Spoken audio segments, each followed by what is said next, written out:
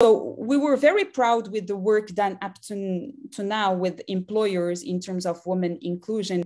And um, what I personally have noticed uh, is this big difference in the way employers are celebrating the International Day of Women Rights this year, particularly.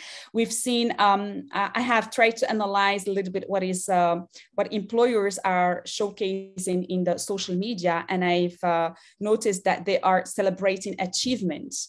They are fixing challenging targeted